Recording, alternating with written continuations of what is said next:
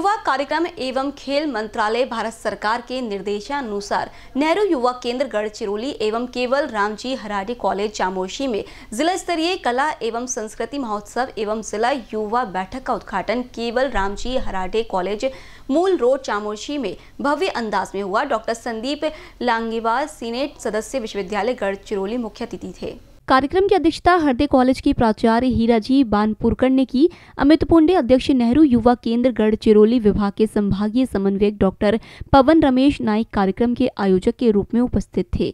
कार्यक्रम में चामोशी के नगर सेवक भी शामिल हुए। कार्यक्रम का शुभारंभ अमित पुंडे, नेहरू युवा केंद्र अध्यक्ष गढ़चिरौली ने किया। इस अवसर पर बोलते हुए महापौर जयश्री वायलालवर ने छात्रों का मार्गदर्शन करते हुए कहा कि कला और संस्कृति परस्पर जुड़े हुए हैं, क्योंकि कला को मानव संस्कृति का सार माना जाता है।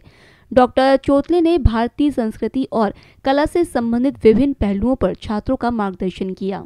डॉक्टर संदीप लांजीवान ने भारतीय संस्कृति को गंगा जमुना और सरस्वती क्यों कहा जाता है? इसका उचित उदाहरण देकर छात्रों का मार्गदर्शन किया।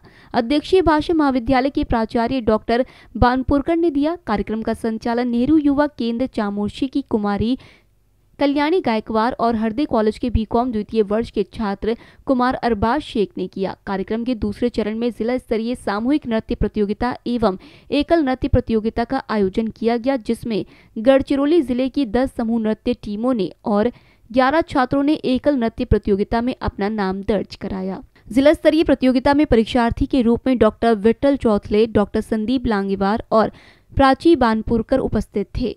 एकल नृत्य प्रतियोगिता में कुरखेड़ा की प्रतीक ने प्रथम नेहरू युवा केंद्र की जयश्री प्रधान ने द्वितीय बीकॉम प्रथम वर्ष की छात्रा हार्डे महाविद्यालय चामोर्ची की सुप्रिया मेश्राम ने तृतीय स्थान प्राप्त किया। कार्यक्रम का संचालन कुमार अरबाज शेख और डॉक्टर पवन रमेश नायक ने किया। चामोशी से बीसीएन न्यूज़ के लिए बबन वड़ी टिटवार की रिपोर्ट।